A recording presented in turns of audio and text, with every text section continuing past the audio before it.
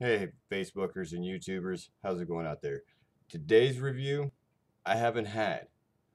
And I honestly can't find much about it unless I go to the Rater sites ratebeer.com, beeradvocate.com. And we know how we feel about them sometimes. But today, this one is supposed to be an Imperial Porter. It is a coffee vanilla porter. It's an Imperial Porter. Ballast Point Imperial Porter Victory at Sea. Now, I heard from those sites that this is supposed to be a really good one.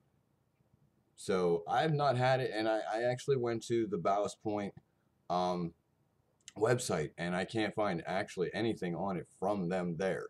So it must be one of those uh, um, seasonal brews that they've already done taken down off their website.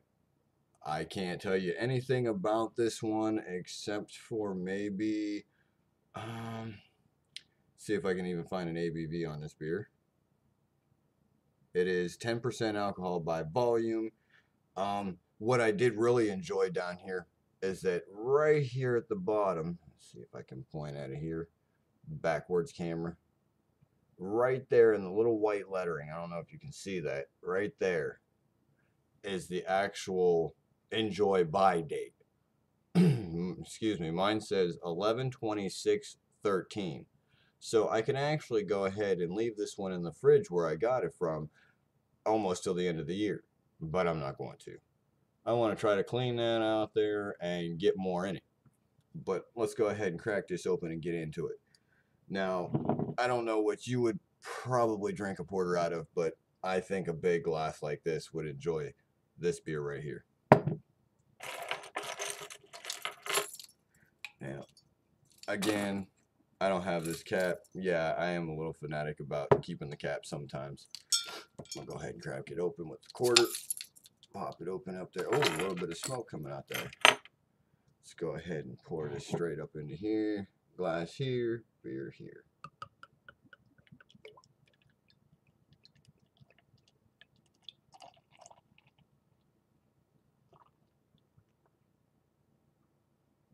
Bit of a rising head there. See if it goes all the way to the top. Oh, there it is. Nice head on that one. Rather large. I, I don't really try to pour that way all the time, but this one, let's have a crack at it. Now, this is not a stout, so I should be able to see some type of light through it. And not through there. Not really through there. I'm imagining since it's a coffee stout that it's pretty much going to be a little hard to see any type of lights through there. I'm thinking maybe even if you could see any light through there, I won't get into the whole foam bit tonight. Um, you might be able to see hues of like a garnet or a ruby red.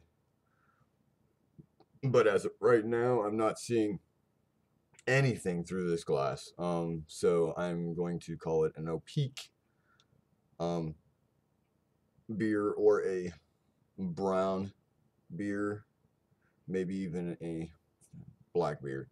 Um, head on it kind of looks kind of roasty.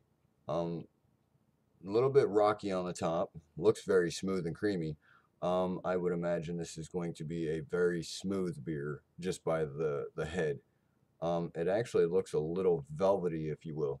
Um, let's go ahead and go and get into the aromas because I can't see um, anything else to mention here. I can hardly see any kind of carbonation. Um, maybe maybe a bubble or two on the sides of the glasses, but that's about it. Um, aromas. Ooh, big chocolate. Roasted coffee, roasted malts, kind of sugary, like a um on the verge of like say a a hazelnut um uh, maybe um, on the verge of nutmeg um, sweetness as in the scent um, maybe even on the verge of a french vanilla Um, the bottle says that it's supposed to be a coffee a vanilla porter, so that's what I'm kind of guessing at. Does have that that strong coffee scent, that strong vanilla scent. Uh, if it picks up in the taste, it's on cue. Cheers. Prost, my friends.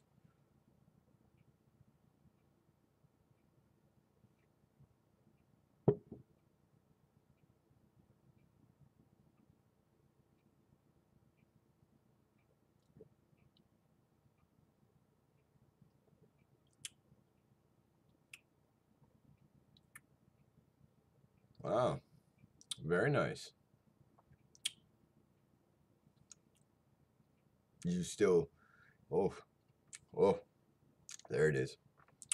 I was waiting for the bitterness to kick in, and, and it finally kicks in as it kind of washes back into the back end of your throat.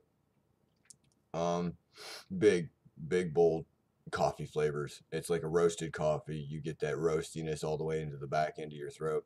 Um, you do very well get that vanilla out of it. Um, like I said before, it is very nice and smooth. Um, you you tend to get if you're getting any kind of dark fruits from it, maybe like figs, dates, um, it's the sugary dark fruits um, at all. Uh, but big bold coffee flavors.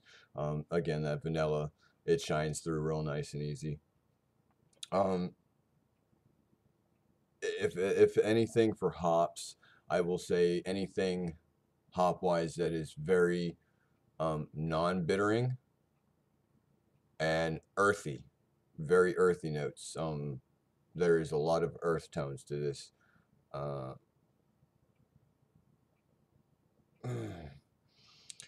but again, very, very fresh, dark roasted malts or dark roasted coffee uh, it hits the head on the nail right there for what it's calling for.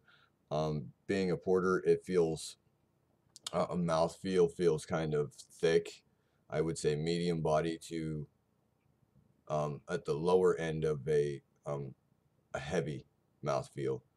Um, depending on how much you take in um, per drink. I, I I'm kind of up in the air on this one. I, I do love um, coffee stouts. Uh, um, traditionally not a fan of porters, but I'm really enjoying this one. Um, I, I tend to uh, like coffee in general, so this one right here, it's it's it's really nice. I mean, it is very pleasing. Um, I don't know if you've had this. If anybody has had this, please go ahead, uh, comment in the little boxes below. Um, again, I don't know. Um, I'll put up the brewery website in the notations and the descriptions and whatnot. Um, but I was just there just a minute ago and I cannot find a darn thing on this at their website. Um, other than that, you'll have to go to other reviews, um, the reviewer sites. Um, uh, I just, I, I'm kind of like stuck on this review right now. I like it. I enjoy it. Um, if I had to give it anything, I'll give it a um a B plus. Um, mm, not because of my dislikes for porters, but my like for this one. Um, other than that, I can't think of anything else that I need to say about this. Prost, my friends. Cheers. Enjoy. Stay safe. Please rate, comment, subscribe. Thank you.